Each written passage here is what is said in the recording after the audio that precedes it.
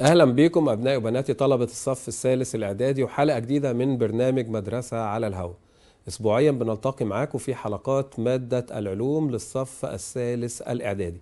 طبعا مادة العلوم زي ما إحنا متفقين تماما من المواد الممتعة والشيقة والمواد الأساسية بالنسبة لنا اللي إحنا بنتعرف فيها على كل ما يحيط بينا وبتوضح لنا كل الظواهر الكونية اللي بتحدث من حولنا. طبعا إحنا كنا بدأنا في الحلقة السابقة مع الوحدة الثالثة. خلصنا الوحدة الأولى والثانية.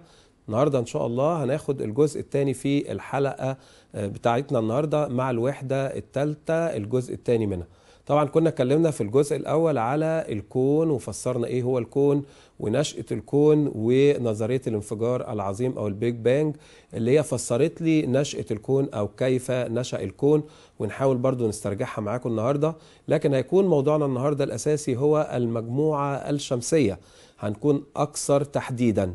يعني إحنا بنسمي الكون بالنسبة لنا هو الفضاء الخارجي. بنسمي المجموعة أو الفضاء البعيد بنسمي المجموعة الشمسية بتاعتنا هي الفضاء القريب. الفضاء البعيد اللي هو الكون اللي بيتكون من ملايين المجرات وكل مجرة فيها ملايين النجوم والأجسام الفضائية إنما الفضاء القريب اللي إحنا بنتكلم فيه هو المجموعة الشمسية. كلنا بنعرف من الدراسة في المرحلة الابتدائية إيه هي المجموعة الشمسية وبنقول إن المجموعة الشمسية دي بتتكون عندنا من الشمس والكواكب الثمانية التي تدور حول الشمس في مدارات بيضاوية. النهارده بقى هناخد القصة من أولها ونشوف المجموعة الشمسية دي تكونت إزاي وإيه هي الظواهر وإيه هي النظريات اللي بتفسر نشأة المجموعة الشمسية.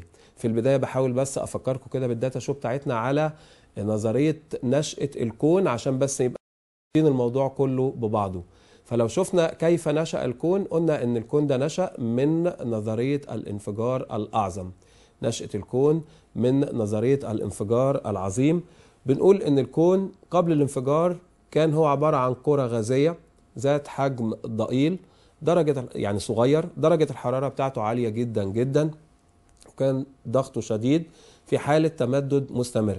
وإحنا يمكن فسرنا قلنا إن في كون مفتوح وفي كون مغلق وهنوضحها برضه.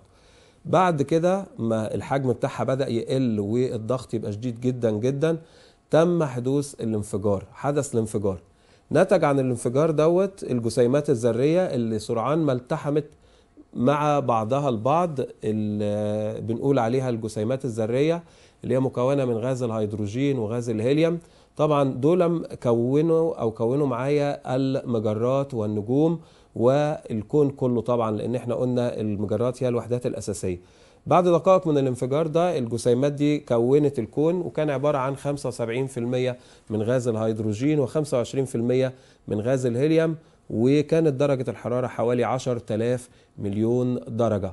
يبقى أنا دلوقتي بداية الانفجار دوت للكرة الصغيرة اللي كان حجمها قليل كانت درجة حرارتها عالية جدا وضغطها شديد جدا وفي تمدد انفجرت بدأت الجسيمات الذرية اللي خرجت منها تلتحم مع بعضها البعض كونت لي غازي الهيدروجين والهيليوم بنسبة 75% هيدروجين و25% الهيليوم. بعد كده بدأت تتكون المجرات وطبعا إحنا عارفين المجرات الوحدات الأساسية لبناء الكون. طبعا عرفنا على طول إن المجرات تكونت بعد 2000 سنة أسلاف المجرات من 2000 إلى 3000 مليون سنة بعد الانفجار العظيم. بعد كده بدأت تتكون عندي المجرة بتاعتنا اللي هي بنقول عليها مجرة درب التبانة. بعد كده تكونت الشمس أو تكونت المجموعة الشمسية فتكونت الحياة بصورة عامة. هنشوف مع بعض تواريخنا زي ما إحنا بنقول كده أهو على الشاشة قدامنا. إيه اللي تكون بعد ما التحمت الجسيمات الذرية؟ اهي تلاحمت المادة بعد ألف مليون سنة من الانفجار. المجرات تشكلت بعد 3000 مليون سنة. أسلاف المجرات ما بين 2000 ل 3000 مليون سنة. بعد كده مجرتنا بدأت تأخذ الشكل القرصي بتاعها اللي إحنا عارفينه ودي مجرة درب التبانة بعد 5000 مليون سنة. ثم ولدت الشمس بعد 1000 مليون سنة.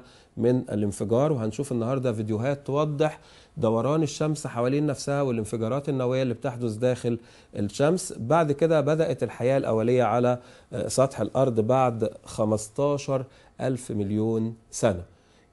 طيب نستقبل كده تليفوناتنا اللي إحنا بنسعد بيها دايما وبتسري الحلقة بتاعتنا. وداد من الدقهلية أهلا يا وداد. ازيك يا مستر؟ ازيك يا حبيبتي؟ عاملة إيه؟ الحمد لله. أخبار العلوم معاكي إيه؟ الحمد لله تمام. الحمد لله. عندك أسئلة؟ أيوه أنا عندي آه، مسألة. مسألة. طب علي صوتك بس شوية حاضر. اتفضلي. آه، يتحرك جسم على محيط دائرة. يتحرك جسم أيوه على محيط دائرة. دائرة. طول محيطها. طول محيطها؟ أيوه. تمام. 44 ميل. 44 ميل. ميل؟ أيوه. تمام. ونصف قطرها 7 متر. ونصف قطرها سبعة متر. ليقطع دورة ونصف وإيه؟ ليقطع دورة ونصف ويقطع دورة ليقطع ونصف. دورة ونصف دورة ونص. أيوه. تمام. في 10 ثواني. في عشر ثواني. تمام. احسب المسافة المقطوعة. احسب المسافة المقطوعة. والإزاحة والسرعة القياسية. والإزاحة والسرعة؟ أيوه السرعة الإيه؟ القياسية. القياسية. تمام. في عندك أي سؤال تاني؟ أيوه أنا عندي هنا آه، سؤال بيقول عند وضع عند وضع الجسم امام مرآة مقعرة طيب ناخد سؤالك التاني برضو. عند وضع جسم أمام مرآة مقعرة مرآة مقعرة وعلى بعد وعلى بعد أقل من بعدها البؤري. أقل من بعدها البؤري. تتكون الجسم صورة. تتكون للجسم صورة. نقط. نقط. تمام. طيب. تتابعي معايا الإجابة؟ ها؟ أتابعها من خلال التلفزيون؟ آه تابعيها معايا من خلال التلفزيون يا وداد وطبعا أسئلتك جميلة جدا وإحنا بنرحب بيكي وخليكي معايا كده عشان تشوفي الإجابة. ماشي شكرا يا مستر. شكرا. طبعا هبدأ هنا بالسؤال اللي موجود قدامي عند وضع جسم أمام مرآة مقعرة. يعني أنا حاطط جسم قدام مراية مقعرة. طبعا بفكركم دايما المراية المقعرة هي. أنا عارف إن أسئل- أسئلتكم جميلة. وطبعا المنهج بتاعنا دسم يعني بالموضوعات والمواد الشيقة اللي فعلا بيبقى فيها أكتر من أسئلة. أنا دايما لما برسم المراية المقعرة طبعا المراية بتبقى لها سطح آه، عاكس وسطح آه، آه، مصقول طبعا بدل مرآة مقعرة ناخد بالنا بس من الكلام هنا. بدل المراية دي مرآة مقعرة يبقى على طول السطح العاكس هو السطح الداخلي للكرة. يبقى إحنا كده راسمين صح. طبعا عندي برسم المحور الأصلي اللي هو بيمر ب وميم. ب دي اللي هي البؤرة فإذا المسافة اللي هي آه، من البؤرة لحد طبعا ده قاف قطب المراية المسافة دي بنسميها البعد البؤري. المسافة دي كلها بنسميها نصف القطر. وطبعا في علاقة رياضية بتقول لي إن نصف القطر بيساوي ضعف البعد البؤري. يعني بقول لولادي لو أنت بترسم المسألة دي وجات لك مثلا آه، في الرسم مديلك أي بعد فخد بالك إن لو أنت رسمت البعد البؤري مثلا 2 سم يبقى ترسم لحد ميم 4 سم لأن في قانون وفي علاقة رياضية بتقول إن نصف القطر اللي هو من ميم لحد قاف بيساوي ضعف البعد البؤري. إذا لو اداني نصف القطر فأنا بعرف البعد البؤري ولو اداني البعد البؤري بعرف نصف القطر. السؤال هنا بيقول لي إيه؟ إذا وضع جسم أمام مرآة مقعره على بعد أقل من بعدها البؤري. يعني أنا حطيت الجسم في الحتة دي كده أقل من البعد مين؟ البؤري. طيب بدل أنا حطيت على جسم أقل من بعد البؤري طبعا بشوف مسارات الأشعة الساقطة منه بتكون إزاي؟ طبعا كلنا عارفين إن إحنا دايما نرسم شعاع موازي. الشعاع الموازي للمحور ده بينعكس بحيث يمر بالبؤرة. أهو أنا عملت له الانعكاس. طب الشعاع التاني هيجي مر بالمركز. أهو من النقطة كده لحد المركز هيجي أهو بينعكس على نفسه. المركز كده يبقى هو سقط كده انعكس كده. لاحظوا كده إن الشعاعين المنعكسين مش هيتقابلوا مع بعض لكن لو أنا عملت لهم امتداد أهو الامتداد أهو الامتداد هو اللي هيتلاقى. طالما الامتداد تلاقى هيديني صورة تقديرية. يبقى الصورة عندي هنا صورة تقديرية. تمام؟ أهي بنعملها بشرط كده عشان ما نعملهاش بخط آه، مستقيم. يبقى لاحظوا شوية معايا بس آدي الشعاعين اللي انعكسوا لم يتقابلا لأن هنا هنا مش هيتقابل الاشعة طالما ما تقابلتش الأشعة المنعكسة يبقى في الحالة دي الصورة مش حقيقية. مين اللي تلاقى الامتدادات بتاعة الأشعة؟ لو أنت مسكت مسطرتك وقلمك الرصاص وعملت بشرط كده هتلاقي إن الشرط دي هي اللي بتتلاقى في نقطة. النقطة دي هي صورة الجسم. بدل الامتدادات تبقى الصورة تقديرية تمام؟ ده المطلوب في السؤال عندي. يبقى الصورة تتكون للجسم صورة تقديرية ولو قال لي قول لي السبب هقول له إنها بتأتي من تلاقي امتدادات الأشعة. شايفين كلمة امتدادات؟ مش هقول بتق... بتأتي من تلاقي الأشعة المنعكسة لا امتدادات الأشعة المنعكسة. طب الصورة تقديرية. هنا معتدلة راس السهم لفوق أهي زي الصورة بالظبط يبقى معتدلة. وزي ما إحنا شايفين أدي الجسم وأدي الصورة بتاعته ويبقى مكبره يبقى أنا في الحالة دي الصورة أو خواص الصورة جات لي صورة تقديرية معتدلة مكبرة ويبقى كده دي الإجابة اللي إحنا كنا طالبينها. لو جينا نشوف بقى السؤال الأولاني لأن السؤال الأولاني فيه فكرة. طيب هناخد إبراهيم بس من العياط ونستكمل مع بعضينا السؤال الأول. اتفضل يا إبراهيم. آه، السلام عليكم. وعليكم السلام. كان بس في سؤال واقف قدامي آه، متى يحدث آه، متى يحدث كل مما يأتي؟ متى يحدث؟ كل مما يأتي. تمام كلا مما يأتي. اتفضل تجمع وتطرح الكميات الفيزيائية القياسية. تمام تجمع وتطرح الكميات. الكميات الفيزيائية القياسية. بس شكرا. شكرا. هتتابع معايا؟ طبعا سؤالك كان يعني من الموبايل تقريبا على ما عرفت. فهنقوله أيوة. السؤال ده يمكن اتكرر معانا أكتر من مرة. طبعا الكميات الفيزيائية القياسية هي الكميات اللي بيكون لها مقدار فقط وليس مقدار واتجاه. يعني إحنا عندنا الكميات القياسية. شكرا. طبعا أنا بشكره وبحييه إبراهيم بقول له متشكرين وسؤالك جميل. وطبعا بقول له تاني إن خد بالك هو أنت قلت لي الكميات الفيزيائية القياسية. أنا عندي كميات فيزيائية قياسية وكميات متجهة. إيه الفرق ما بينهم؟ الكميات الفيزيائية القياسية هي اللي بيلزم لتحديدها معرفة مقدارها فقط. أما الكميات الفيزيائية المتجهة فبيلزم لتحديدها معرفة مقدارها واتجاهها. الكميات الفيزيائية في أي علاقات في أي يعني أنا لما أجيب السرعة بقول السرعة بتساوي المسافة على الزمن. المسافة كمية قياسية على الزمن. لما باجي أجيب العجلة العجلة بقول عين العجلة تحديدا أهي. لما باجي أجيبها بقول إيه؟ عين 2 ناقص عين آه، واحد يعني عين النهائية ناقص ادي أنا بطرح أهو عين الإيه؟ الأولية على مين؟ على الزمن. كلها كميات قياسية. اذا وإحنا بنحسب العجلة بنستخدم عملية طرح أو عملية جمع للكميات القياسية. آه نرجع بقى للسؤال الأول. برضو هنقول أفكاره كده بسرعة قوي لأنه هو كان فيه فكرة جميلة لازم نقولها. آه الوداد طبعا بيتحرك جسم على محيط دائرة. طبعا الدايرة بنرسمها كلها بتبقى الدايرة كده. طبعا هو اداني المحيط كله تمام؟ قال لي 44 واداني نصف القطر 7 نصف القطر ونصف قطرها 7 متر. يعني هنا نصف القطر 7 يبقى القطر كله كام؟ 14 متر. واداني المحيط. خدوا بالكم بقى. بيقول لي بيقطع آه، دورة ونصف دورة. دورة ونص. هو لما يقطع دورة كده على المحيط يبقى قطع ال 44 طب نص الدورة كام؟ يبقى نص ال 44 لأن هو قطع خدوا بالكم معايا. أرسمها لكم بقلم تاني. يعني هو جه على المحيط ده الجسم المتحرك وقام قطع دورة. دورة يعني قطع كله كده. طب المحيط كام؟ 44 طب وقطع لي نص دورة كمان. يبقى قطع كده نص الدورة نص المحيط يعني. يبقى كده 22 يبقى 44 زائد تمام؟ 2 وكام؟ 22 طيب يبقى أنا كده عرفت دي المسافة الكلية. لأن المسافة بيقول لي احسب المسافة المقطوعة. المسافة هي المسار الفعلي اللي بيسلكه الجسم من نقطة البداية إلى نقطة النهاية. فأنا عندي الجسم بدأ من هنا عمل دورة كاملة فرجع تاني لو افترضت إن ده ألف وده ب اللي هو القطر أدي ألف وأدي ب اللي هي القطر. فالجسم بدأ من ألف. عشان يعمل دورة كاملة يرجع تاني الالف طب هيعمل نص دورة كمان هيقوم ماشي كده ويرجع فين؟ لب. يبقى نهى في الحتة دي. يبقى المسار الفعلي اللي مشيه محيط ونص يعني 44 زائد النص بتاعه اللي هو 22 يبقى دي المسافة الكلية. طب بيقول لي احسب الإزاحة. الإزاحة هي الخط المستقيم ما بين نقطة البداية ونقطة النهاية. طب أنا بادئ منين؟ بادئ من عند ألف. طيب رحت لفين؟ وصلت كده دايرة كاملة جيت لألف تاني وبعدين قمت مكمل نص فوصلت لب. يبقى المسافة من ألف لب. طب أجيب المسافة اللي هو الخط المستقيم اللي بيربط ألف لب. طب ده كام؟ ما هو قال لي نصف القطر سبعة. يبقى ده قطره كامل مقداره كام؟ سبعة يبقى سبعة وسبعة يبقى 14 متر يبقى الإزاحة هي أكثر خط مستقيم بين نقطة البداية ونقطة النهاية ودي بتوصل معايا إلى كام؟ إلى 14 متر زي ما إحنا شفنا كده يبقى أنا دلوقتي عندي إيه؟ متحدد معايا دلوقتي أكتر من حاجة متحدد معايا على الرسم أنتوا كلكم شايفين أهوت إيه اللي موجود على الرسم؟ موجود معايا المحيط كله وبنقول دورة ونص يبقى محيط ونصف زي ما إحنا شفنا طيب المحيط والنصف دوت إحنا شفناه اهو يعمل لي 44 زائد 22 طيب دورة ونص يبقى وصل فين؟ يبقى وصل إلى النقطة ب. عند النقطة ب كمان يبقى في الحالة ديت 14 طب بيقول لي إيه بقى؟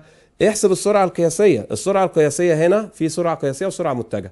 السرعة القياسية تبقى المسافة المقطوعة على الزمن إنما السرعة المتجهة هتبقى الإزاحة على الزمن. هو قال لي سرعة قياسية. هنا تحديدا ليه قال لي سرعة قياسية؟ لأن أنا عندي مسافة طلعتها في أول خطوة وعندي إزاحة طلعتها في تاني خطوة. فلازم يحدد لي السرعة اللي هو عايزها. يبقى عايز السرعة القياسية. يبقى بتساوي المسافة على الزمن. طالما أنا بقول مسافة على مين؟ على زمن. يبقى في الحالة ديت أنا عندي إيه؟ اللي هي المسافة كلها 66 على الزمن اللي إحنا قلناه 10 سنتي. يبقى في الحالة ديت طلعت له زي ما إحنا بنقول كده آه، السرعة القياسية. طب لو طلب مني السرعة المتجهة كنت في الحالة دي هقول له الإزاحة على مين؟ الإزاحة على الزمن. يبقى سرعة آه، قياسية مسافة على زمن سرعة متجهة يبقى إزاحة على زمن. ونستقبل إيمان من الجيزة. أهلا يا إيمان. أيوه. إزيك؟ عاملة إيه؟ الحمد لله. كان عندي سؤال بس في كتاب المدرسة في آخر التدريبات. كتاب سؤال؟ آه. اتفضلي. آه، أنا مجاوبة عليه بس عايزة أتأكد يعني مش حاسه تمام تحت أمرك اتفضلي. آه، قرب أحد التلاميذ إيه؟ عدسة إلى إحدى عينيه. لا قولي لي تاني. قرب أحد التلاميذ عدسة. قرب أحد التلاميذ عدسة. عدسة. إلى إحدى عينيه. إلى إحدى عينيه. عينيه. ونظر من خلالها. ونظر من خلالها فلاحظ أن صورة الأشياء تبدو معتدلة. فلاحظ أن صورة الأشياء تبدو معتدلة. تبدو معتدلة. تمام. وبعد أن أبعد العدسه من عين... عن عينيه. وبعد أن أبعد العدسه عن عينيه. مسافة معينة. مسافة معينة. لاحظ أن صورة الأشياء تبدو مقلوبة. لاحظ أن صورة الأشياء تبدو مقلوبة. استنتج التلميذ أن العدسة؟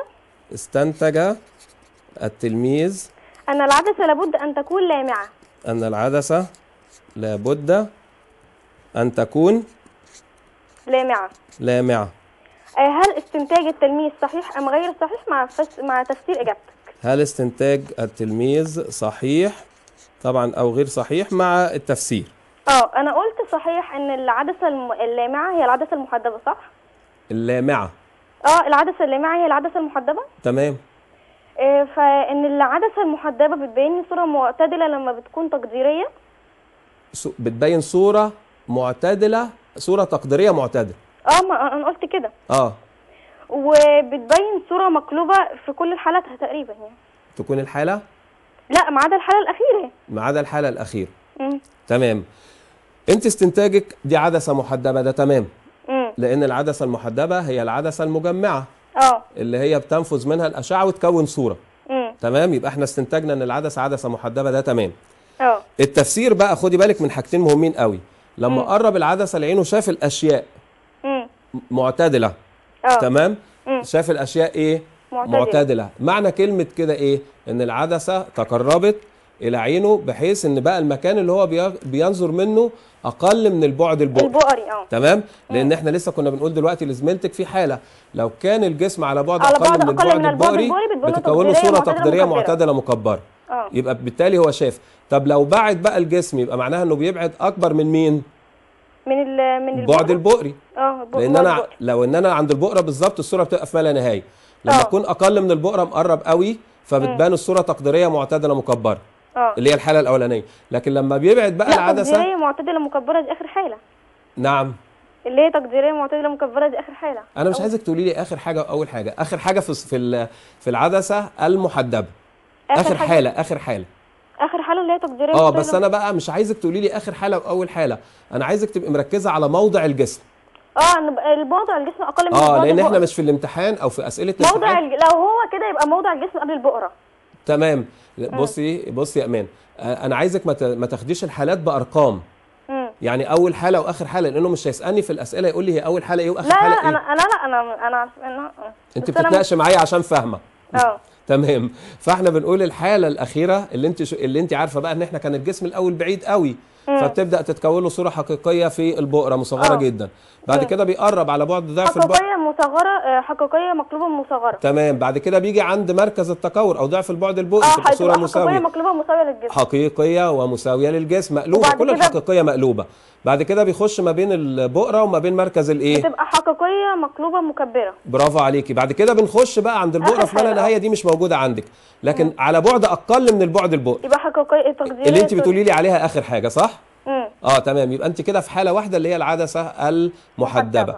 عشان كده بدليل إنه قال لك إيه؟ لو أنت بعدتي عن عن المكان ده شوية أو عن البقره شوية آه. بتبدأ الصورة تبان مقلوبة للحالات اللي إحنا قلناها دلوقتي. آه آه. تمام لكن لو في فهمتي؟ المراية هتكون مراية مقعرة. تمام برافو عليك. لأن إحنا حالات تكوين الصور بتبان معايا في العدسة المحدبة لأن هي العدسة المجمعة أو اللامة. آه ولكن أو اللي بيقابلها المرآة المقعرة. بيقابلها برافو عليكي ممتازه يا إيمان. بيقابلها المرآة مين؟ المقعره المقعره تمام. طب شكرا. شكرا يا أمان. شكرا ليكي. طبعا أسئلة ولادنا في منتهى الجمال وإحنا طبعا بنستمتع بيها وبنقول لهم يتواصلوا دايما معانا واهلا بيهم وباسئلتهم طبعا آه، زي ما خدنا بقى فكرة عن نشأة الكون بنقول إن بدأت الأول خالص تنشأ المجرات. ومن أهم المجرات طبعا اللي نشأت هي مجرتنا اللي إحنا بنسميها مجرة درب التبانة اللي بعد 5000 مليون سنة. ودي طبعا لها اذرع حلزونية. الشمس بتوجد في أحد الأذرع الجانبية دي اللي إحنا بنقول عليها بدأت تتكون الشمس في أحد الأذرع الحلزونية لأن طبعا المجرة دي فيها ملايين النجوم يعني يعني مش نجم واحد. ده أنتوا كنتوا بتاخدوا في الابتدائي معلومة مهمة قوي. كنا بنقول إن الشمس نجم متوسط الحجم. يعني معنى كده إن في نجوم إيه؟ كبيرة جدا في نجوم عملاقة. وهناخد النهارده تفسير ال- آه، تكون المجموعة الشمسية. بس أنا عايز أقول لكم إن في جوه المجرة دي ملايين ملايين النجوم منهم الشمس. طبعا الشمس لما بنتكلم عنها بنقول هي مركز المجموعة الشمسية. المعلومات اللي كانت عندنا أو اللي إحنا بنقولها الأول لو حبينا كده نوضح. نقول بتبقى عندي الشمس لو جينا نقرب بقى نشوف أدي الشمس أهي. بنرسمها بحجم كبير شوية هنقول عليها دي الشمس اللي هي الكرة الغازية الملتهبة اللي هي بتمثل 99 تقريبا يعني وستة من عشرة في المية تمام من حجم المجموعة الشمسية. بنبدأ بقى نلاحظ حوالينها في الكواكب بتدور حوالين الشمس في مجرات يعني آدي في آه، مدارات. نرسم كده ثلاثة أربعة طبعا إحنا عندنا تمانية خمسة ستة سبعة واحد اتنين تلاتة أربعة خمسة ستة سبعة تمانية. بنبدأ نقول إن ده الشكل بتاع المين. المدارات. طبعا لو هكمل بس مدار واحد يبقى ده شكل مدار. أهو. طبعا المدار هنا بيبقى مدار إيه؟ بيضاوي. مدار بيضاوي. تمام كده؟ ما هواش دائري لأنه أحيانا يقول لي في الصح والغلط إنه بيبقى المدار ده مدار إيه؟ مدار بيضاوي. فهنا آه، آدي الشمس جسم كبير جدا. بتبدأ مجموعة الكواكب بقى. أول كوكب هنا بيبقى عطارد. بعد كده بتيجي الزهرة أو الزهرة. بعد كده بتيجي الأرض هنديها لون مختلف شوية وهي بتبقى توأم الزهرة دي في الحجم أهي الأرض أهي يعني في الحجم شوية قريبة من ده. بعد كده بيجي معايا المريخ أهو نرسم المريخ أصغر شوية. بعد كده بيجي بقى أكبر الكواكب حجما اللي هو مين؟ المشتري. يبقى هنرسم كده كوكب كبير. تمام؟ أهو. يبقى أكبر واحد. بعد كده بيجي عندي كوكب زي ما إحنا بنقول عليه كده اللي هو زحل. بيبقى أصغر تاني أكبر الكواكب حجما. يعني مش هو الأكبر واحد أكبر واحد قلنا المشتري وبعد كده بيجي عندي مين؟ أورانوس. أهو برضو تالت أصغر كوكب من حيث الحجم. يعني إيه؟ أهو. وآخر واحد خالص بيبقى مين؟ نبتون. بس خدوا بالكم هو آخر واحد في مجموعة الكواكب الخارجية. لكن خدوا بالكم إن الأربعة دول أدي واحد اتنين تلاتة أربعة دول أكبر الكواكب حجما يبقى أنا لو عايز أبص عليهم تاني دول أكبر الكواكب حجما. أنا كده مديكم صورة توضيحية. هندي بس علامة على الكوكب ده عشان نتكلم عنه شوية. أهو ده اللي إحنا بنسميه كوكب الأرض. كوكب الأرض. يبقى هنشوف مع بعضينا كده. آدي مجموعة الكواكب اللي بتدور حوالين المجموعة الشمسية اول كوكب عطارد. تاني كوكب الزهرة الأرض المريخ المشتري زحل اللي هو بيتميز بوجود الحلقات حواليه. وبعدين يورانوس وبعدين مين؟ وبعدين نبتون. إحنا بنتكلم عن الكواكب دي بتدور حول الشمس في مدارات بيضاوية. خدوا بالكم بقى بيسألني أسئلة في الحكاية دي. يقول لي مين النجم اللي موجود في المجموعة الشمسية؟ طبعا الشمس دي نجم. تمام؟ بتشع ضوء وحرارة. إنما كل اللي باقيين دول بتبقى كواكب والكواكب بتبقى أجسام معتمة. أجسام معتمة يعني لا تشع ضوء ولا تشع مين ولا تشع حرارة. يبقى ديت بنقول عليها على طول أجسام. ساطعة أو مشعة بتشع ضوء وحرارة إنما الكواكب بتبقى اجسام معتمه لا تشع ضوء ولا حرارة. طبعا لاحظوا كده لأن إحنا في آخر الحلقة النهارده هنتكلم على الكواكب دي باختلاف كل كوكب من دول بيدور مرة حوالين نفسه وبيدور حوالين نفسه وبيدور حوالين الشمس. بيدور حوالين محوره وبيدور حوالين الشمس. طبعا آه، نعرف المعلومة دي في الأرض كده الأول برضه عشان الوقت ما يداهمناش وما نقولش إن الأرض بتدور حول نفسها مرة كل 24 ساعة وده اللي إحنا بنسميه اليوم الشمسي. آه، اللي هو بتاع الأرض يعني. وبتدور حوالين وده كل 24 ساعة. وبتدور دورة حول مين؟ حول الشمس. حول الشمس دي بتديني السنة اللي هي 365 يوم وربع. ودي السنة الأرضية اللي إحنا قياسا على اليوم على سطح الأرض. وقياسا على السنة على سطح الأرض بنبدأ نقيس الأيام والسنين على باقي الكواكب. يبقى أنا عندي ده شكل للمجموعة الشمسية. تمام؟ ناخد إسراء من المنيا قبل ما نكمل. اتفضلي يا إسراء. إسراء. إسراء معايا؟ أسماء. من أسماء. إزيك يا أسماء؟ الله يسلمك يا أستاذ عاملة إيه؟ الحمد لله. وأخبار العلوم معاكي إيه؟ الحمد لله. الحمد لله. عندك سؤال ولا حاجة؟ أيوة عندي سؤال. اتفضلي يا حبيبتي. تحرك جسم. تحرك جسم. أل- جسم ألف. تحرك جسم ألف الجسم ألف؟ أي. طب قولي تاني تحرك؟ تحرك جسم ألف. ألف. بسرعة فعلية. طب يا ريتك توطي التلفزيون وتكلميني من التليفون بس عشان نسمع بعض بسرعة كده. ما- ماشي. تحرك جسم ألف. تمام. بسرعة فعلية. بسرعة. فعلية. فعلية. 30 كيلومتر كل ساعة. 200 كيلو متر كل ساعة. 30 30 كيلومتر. 30 آه، كيلومتر كل ساعة. 30 30 كيلو متر كل ساعة. كويس. وكانت سرعته النسبية؟ وكانت سرعته النسبية؟ النسبية؟ 10 كيلومتر كل ساعة. 10 كيلو متر كل ساعة. بالنسبة لجسم آخر؟ بالنسبة لجسم آخر. أوجد أوجد سرعة الجسم الآخر. أوجد سرعة. بالنسبة لجسم آخر 10 تاني تاني. وكانت سرعته النسبية 10 كيلو متر كل ساعة بالنسبة لجسم آخر. أيوة. أوجد سرعة الجسم الآخر. أيوة. تمام؟ أيوة. في حاجة تاني؟ لا شكرا. طيب تتابعيني كده وبشكرك يا أسماء وتابعيني هجاوب لك على السؤال على طول. هنا لو بصينا على السؤال ده ده برضو من الأسئلة المهمة جدا اللي إحنا عايزين نتكلم عنها. بيقول يتحرك جسم بسرعة فعلية 30 كيلو متر ساعة وكانت سرعته النسبية 10 كيلو متر كل ساعة بالنسبة لجسم آخر. في منتهى الجمال السؤال ده أوجد سرعة الجسم الآخر. إحنا عندنا السرعة النسبية هي سرعة جسم بالنسبة لمراقب. يعني أنا دلوقتي بقول إن السرعة دي 30 يعني في عربية بتتحرك اهي أنا برضه هرسمها توضيحية عشان نفهم السؤال لأن السؤال ده ممكن يجيب أكتر من شكله بأكتر يعني من معنى كده. فالسيارة دي بتتحرك اهي سرعتها الفعلية 30 كيلومتر لكل ساعة. ده بالنسبة لمين؟ بالنسبة لشخص مراقب ساكن. يعني لو واحد واقف هنا كده وبيشوف العربية دي وهي ماشية يبقى هشوفها بسرعة 30 كيلومتر. ودي ممكن يسألني سؤال متى تكون السرعة الفعلية هي السرعة النسبية؟ أو متى تتساوى السرعة الفعلية مع السرعة النسبية؟ دي حاجة. طيب الحاجة التانية إيه؟ إن أنا ممكن يكون الجسم الآخر متحرك. يعني آدي جسم في عربية أهو. تمام؟ أهو وادي الجسم الأولاني بتاعي. ده كان 30 شايفين كلنا أهو. ده ال 30 بتاعي أهو 30 كيلومتر كل ساعة. وده بيشوفه. بس الاتنين خدوا بالكم ماشيين فين؟ في نفس الاتجاه. لو كانوا ماشيين في نفس الاتجاه يعني السهم ماشي كده والسهم ماشي كده يبقى في الحالة دي السرعة النسبية بتساوي الفرق بين السرعتين. فرق بين مين؟ السرعتين. وفي الحالة دي لو جبت الفرق هتبقى قيمة السرعة النسبية أقل من السرعة الفعلية لأن بجيب فرق. بجيب فرق. يعني نكتبها فوق كده السرعة النسبية عشان تبقى متشاف أنا مش عايز أشيل ورقة بس عشان فيها البيانات. السرعة النسبية بتساوي الفرق بين السرعتين. يعني سرعة العربية الأولى سالب سرعة العربية مين؟ الثانية الأولى اللي هي قلنا 30 سالب الثانية اللي إحنا عايزين نجيبها. الفرق هنا كام؟ السرعة النسبية طلعت كام؟ 10 يبقى معنى كده إن 30 سالب كام بتساوي 10 يبقى أنا لو حبيت أحلها مسألة رياضية هنقل هتطلع السرعة بتاعة الجسم الثاني كانت 20 متر.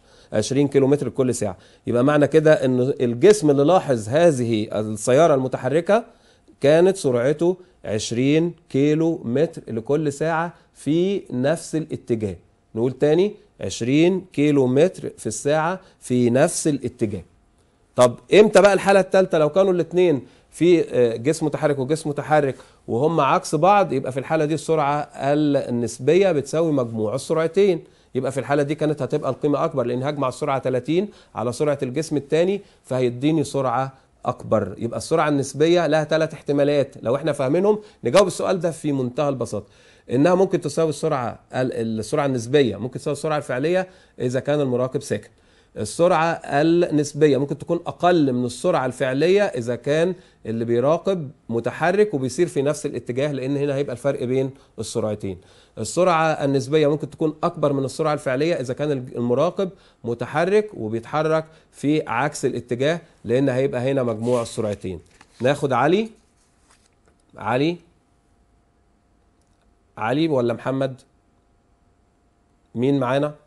محمد عبد العزيز إزيك يا محمد؟ الحمد لله كويس. أخبارك إيه يا أبو حميد؟ الحمد لله كويس. والعلوم عامل إيه معاك؟ لا جميل والله. وصلت لفين يا محمد في المدرسة؟ أنا وصلت أنا خلصت أنا أنا الحصة الجاية هخلص المجموعة الشمسية. يعني ماشيين معانا يا محمد. أيوه. طب الحمد لله. إحنا النهارده بناخد المجموعة الشمسية ونظريات تكون المجموعة الشمسية.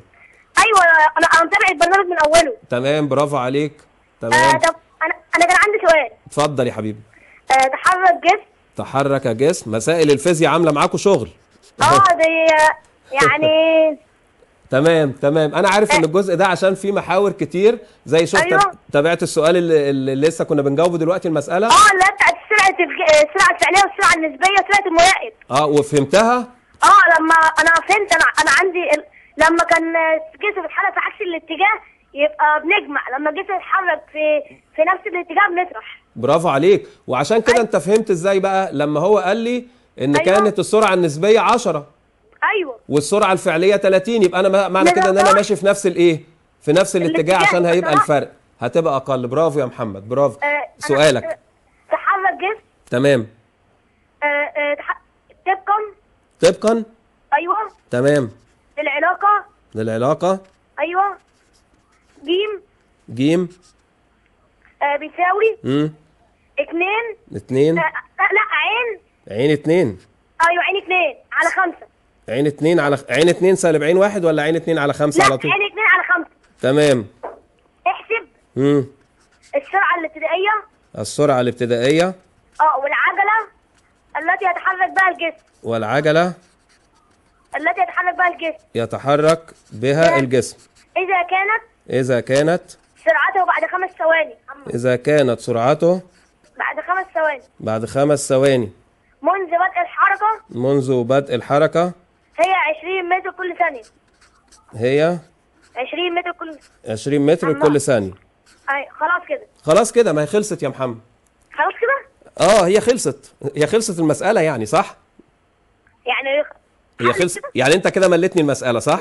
آه. آه أنا عايزك بقى يا محمد كده قبل ما أسيبك وأقول لك تابع معايا عايزك أنت تستنتج معايا حاجة. ماشي.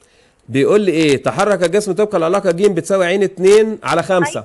تمام. وسكت صح كده؟ آه. ولا كاتب لك حاجة تاني؟ لا سكت آه سكت ليه يا محمد؟ هو إمتى؟ هو القانون بتاع العجلة بيقول إيه يا محمد؟ عين اتنين. آه، السرعة الابت- السرعة النهائية ناقص السرعة الابتدائية مم. على الزمن. على الزمن. برافو عليك. أنا هنا دلوقتي قلت لك عين اتنين على خمسة. يبقى معنى كده آه. إن السرعة النهائية مالها؟ آه، السرعة يبقى السرعة النهائية ب- بتساوي لا السرعة النهائية ناقص السرعة الابتدائية آه. بيساوي العجلة في الزمن. تمام.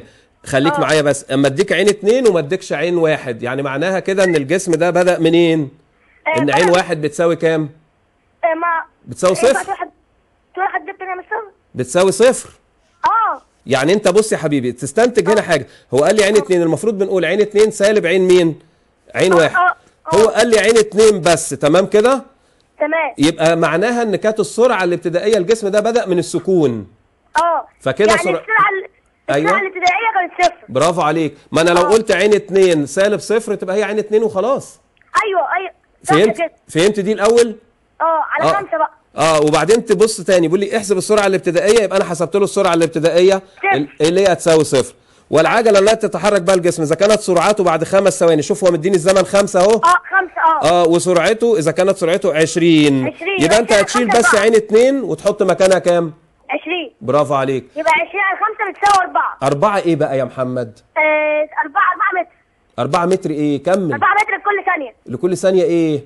تربيع. برافو عشان عليك ده العجله برافو عليك. لو هي سرعة تبقى 4 متر لكل ثانية. آه. لكن عجلة تبقى 4 يبقى متر 4 متر لكل كل ثانية. ثانية تربيع. تربيع. شايف شايف السؤال جميل إزاي؟ لا والله يا مستر ربنا يخليك. ربنا يخليكم أنتوا عشان ودايما تتواصلوا معانا وإحنا أنا بحب دايما البرنامج عشان كده يا مستر نعم. أنا بحب البرنامج عشان كده. ماشي يا حبيبي. وإحنا كلنا تحت أمرك أسرة البرنامج كلها وكل مدرسين مدرسة على الهوا تحت أمركم. أنتوا ولادنا وبنحاول إن إحنا نوصل لكم المعلومة بشكل مبسط وإن شاء الله يعود بالخير عليكم بإذن الله. شكرا يا محمد شكرا جزيلا ليك. آه نرجع بقى للمجموعة الشمسية زي ما اتفقنا ونشوف إيه هي أهم النظريات التي تفسر تكون المجموعة الشمسية. وزي ما بأكد تاني المجموعة الشمسية دي اللي إحنا بنقول عليها اللي هي الشمس والكواكب اللي أنا كنت لسه راسم لها المنظر دلوقتي وأقول لكم شمس وحواليها 8 مين 8 كواكب. في عندي ثلاث نظريات. أول نظرية بنسميها نظرية السديم وهنشوف ده معانا في ال data show بتاعتنا وإن شاء الله برضو معانا فيديوهات للمجموعة الشمسية وللشمس وهنشوفها مع بعض. فعندي السديم دي نظرية السديم للعالم لابلاس سنة 1796 وفي عندي نظرية النجم العابر لتشامبرلين ومولتن. 1905 وفي عندي النظرية الحديثة لألفريد هيل. النظرية مين؟ الحديثة لألفريد هيل. دي 1944 يبقى أنا عندي ثلاث نظريات بيشرحوا لي نشأة المجموعة الشمسية. يبقى إحنا خدوا بالكم إحنا خدنا الانفجار الأعظم أو الانفجار العظيم ده كان بيفسر لي نشأة الكون. ناخد بالنا قوي لأنه هو ممكن يسألني هو أخد بالي في الامتحان هو بيسألني في نشأة الكون ولا في نشأة المجموعة الشمسية؟ نشأة الكون خلاص الانفجار العظيم. لكن نشأة المجموعة الشمسية هناك العديد من النظريات لكن أهم النظريات دي ثلاث نظريات. نظرية السديم للعالم لابلاس ونظرية النجم العابر ونظرية الحديثة لألفريد هويل. طيب لو جينا نبص كده ونتخيل مع بعض النظرية الأولى اللي هي نظرية السديم. أي نظرية بتتبني على أسس أو فروض يعني في بعض الملاحظات في بعض الأسس اللي بيعتمد عليها العالم عشان يؤسس نظريته. فهو اعتبر على السديم. السديم يعني السحب يعني مجموعة الغازات والغبار اللي بيبقى موجود في الكون. طبعا لاحظ إن هو موجود في العديد من السحب والسديم. ولقى حلقات سديمية أو سحابية موجودة على بعض الكواكب زي كوكب مين زحل قلنا بتحيط به حلقات.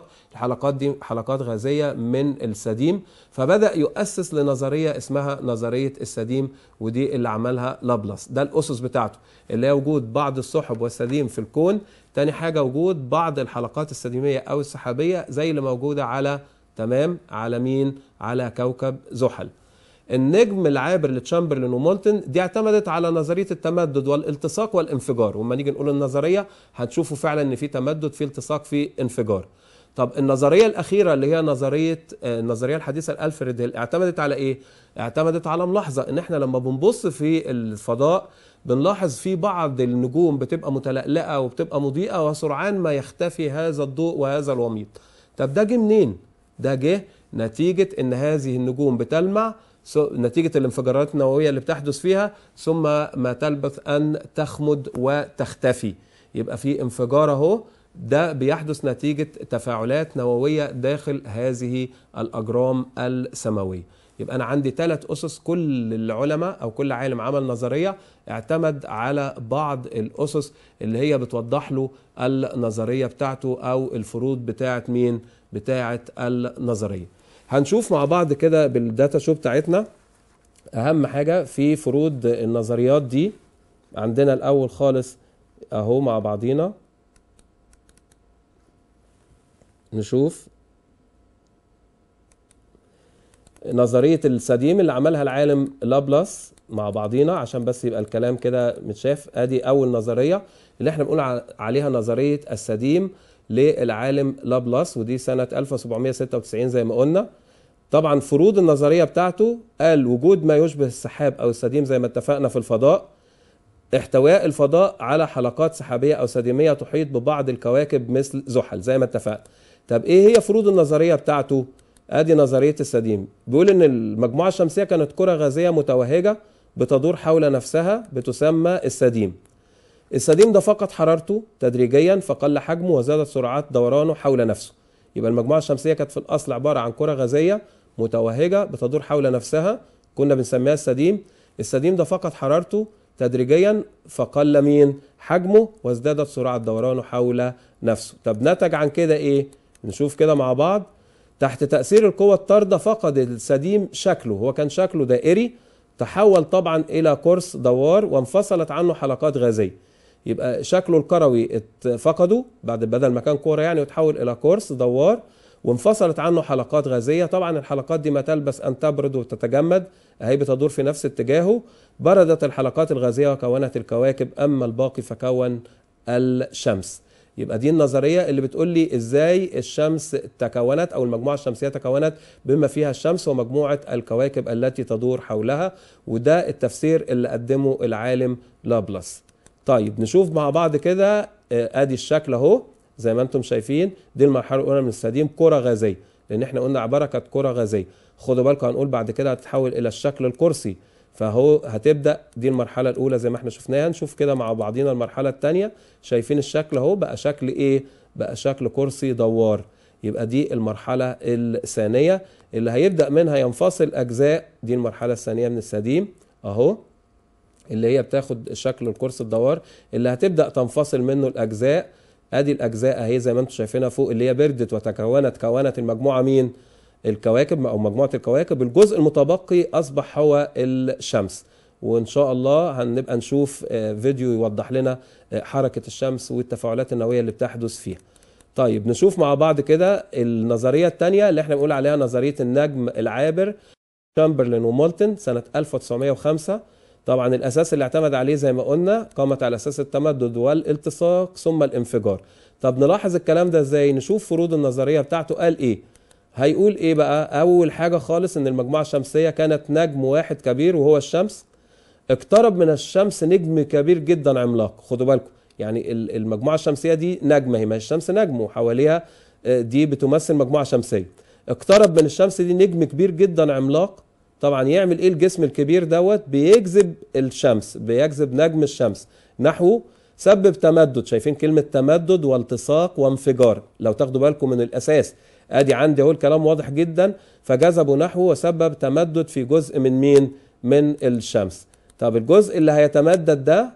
طبعا إحنا بنقول في نظرية النجم العابر لتشامبرلين ومين ومولتن. الشمس نجم كبير اقترب منه اقترب منها نجم أكبر. طبعا النجم ده بدأ يجذب مين؟ بدأ يجذب الشمس. حدث انفجار هائل للجزء ده وكون خط غازي. الخط الغازي ده زي ما إحنا بنقول عليه بيتكثف في الجزء الغازي ده ويبدأ يكون الكواكب.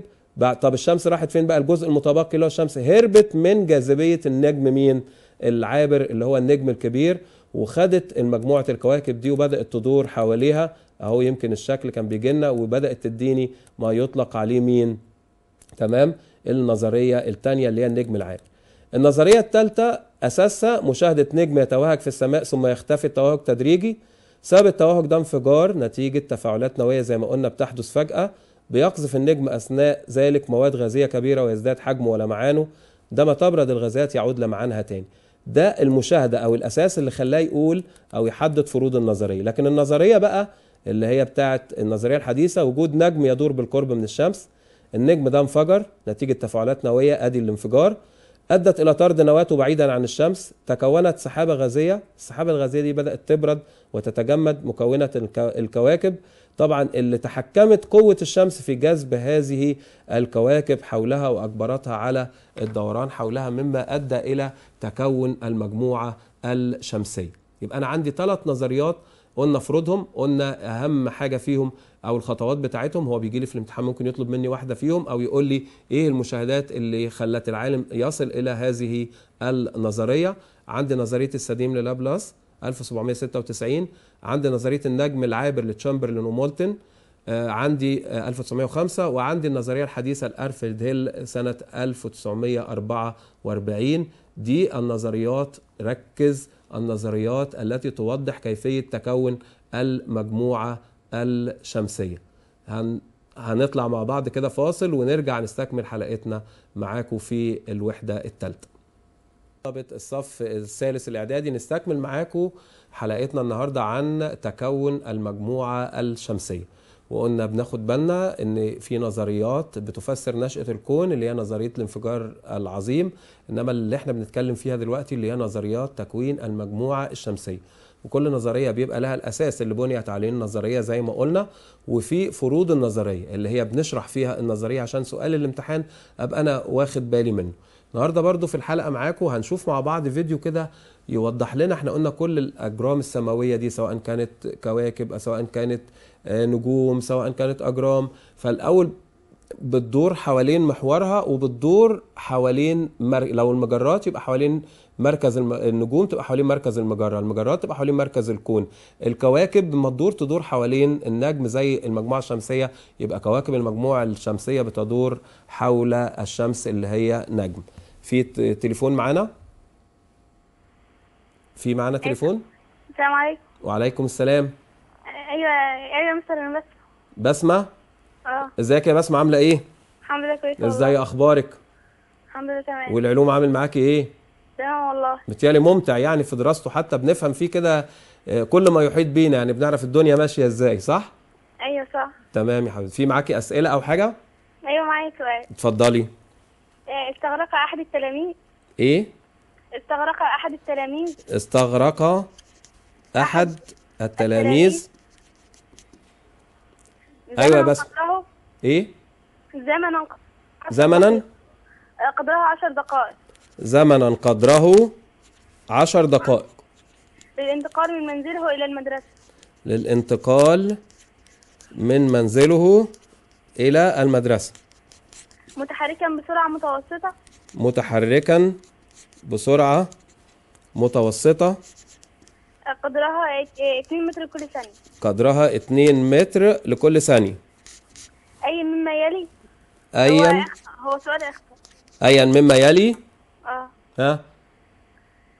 إيه يساوي المسافة بين منزله والمدرسة. يساوي المسافة بين منزله والمدرسة. تمام. آه، ألف آه، 48 متر. 48 متر. تمام. ب آه، 84 متر. 84 متر. جيم. واحد واتنين من- ج واحد من عشرة كيلو متر. كم واحد واتنين من عشرة كيلو متر. كيلو متر. ها؟ ودال تلاتة وستة من عشرة كيلو متر. تلاتة وستة من عشرة. دي دال كيلو متر. تمام؟ أيوة. تمام. انت ليكي كده يعني تفكير في السؤال ولا مالكيش؟ لا ممكن يفارق. طب شاركي كده. هو الزمن بعشر دقائق. الزمن عشر دقائق. يعني 600 ثانية. برافو عليك. بصي ده كان مفتاح الإجابة. ده مفتاح مين؟ إجابة. الإجابة. هو هنا مديني السرعة المتوسطة. مركزة معايا؟ أيوة السرعة المتوسطة دي هي السرعة اللي لو تحرك بها الجسم لقطع نفس المسافة في نفس الزمن. نفس الزمن. تمام كلامي؟ تمام. آه. بس هنا بقى هو قام مديني الزمن بقى قدره عشر دقائق. فلازم الأول خالص الجسم قعد مس... آه، زمن مقداره عشر دقائق يبقى لازم أحول العشر دقائق دي إلى إيه؟ إيه ثواني. إلى ثواني. يبقى نقول عشرة في كام؟ عشرة في ستين. في 60 تطلع كام؟ 600 ثانية. 600 ثانية. مش كده. بفرض بقى إن السرعة المتوسطة هي السرعة المنتظمة أو التي لو تحرك بها الجسم. مم. تمام؟ يبقى في الحالة ديت 600 هتضربيها في كام؟ 600 هنضربها في 2 و7 ما هي 600 دي هي اللي إحنا بنقول عليها الزمن الكلي. آه. انت عندك بقى السرعة المتوسطة بتاعه الثانية الواحدة 2 متر. آه لكل ثانية. يبقى لو ضربت 2 في كام؟ في 600 هيطلع معاكي كام؟ اهو 1200 1200 اللي هي واحد واتنين مين؟ 1 2 من 10 من 10 كيلو متر برافو عليكي. فهمتيها؟ أيوه فهمت شكرا. شكرا يا حبيبتي. ده طبعا سؤال جميل جدا والفكرة بتاعته هي فكرة تحويل الزمن لأنه قال لي 10 دقائق فالطالب بقى ممكن تاخد بالها يقول لك إيه؟ ده 10 في 2 طب إزاي ما فيش إجابة موجودة 20 لأ ده ال10 دي 10 دقائق. لكن ال- السرعة بتبقى بالإيه؟ بالمتر في الثانية. يبقى أنا لازم أحول السرعة بتاعتي من دقيقة إلى إيه؟ إلى ثانية. نشوف مع بعضينا كده فيديو بيوضح لنا حركة الشمس لأن الشمس دي هي أساس المجموعة الشمسية هي الجسم المهيمن على المجموعة الشمسية كلها. فنشوف مع بعض كده ال- الفيديو اهو مع بعضينا ونشوف شكل ال- الشمس وشكل التفاعلات النووية اللي بتحدث آه، بداخل الشمس. شوفوا مجموعة. تمام؟ مجموعة من الانفجارات النووية. شايفين الشمس اهي؟ اهي بتتحرك. تمام؟ بتدور حوالين محورها. أهو زي ما إحنا شايفين في كم كبير جدا من التفاعلات النووية اللي بتبقى موجودة داخل الشمس. ده بيبين تمام كده؟ أهو حركة مين؟ حركة الشمس اللي هي الجسم المتوهج اللي بيكون أصل المجموعة الشمسية. يبقى إحنا كده شفنا مع بعض منظر لمين؟ للشمس وحركتها وهي مجموعة من التفاعلات النووية. يبقى إحنا قدرنا نوضح مع بعضينا إيه هي النظريات اللي بتوضح أو بتبين تكون المجموعة الشمسية. طبعا إحنا متواصلين معاكم في حلقاتنا آه، اسبوعيا. إن شاء الله نستكمل مع بعضينا باقي أجزاء المنهج. بننتظر دايما تليفوناتكم بننتظر تفاعلكم معانا لأن هو ده اللي بيسري الحلقة. وبنحس بالاطمئنان لما أنتم بتكونوا متواصلين معانا وإحنا دايما وكل أسرة البرنامج في خدمتكم. إلى أن ألقاكم في حلقة قادمة. لكم تحياتي وشكرا. Thank you.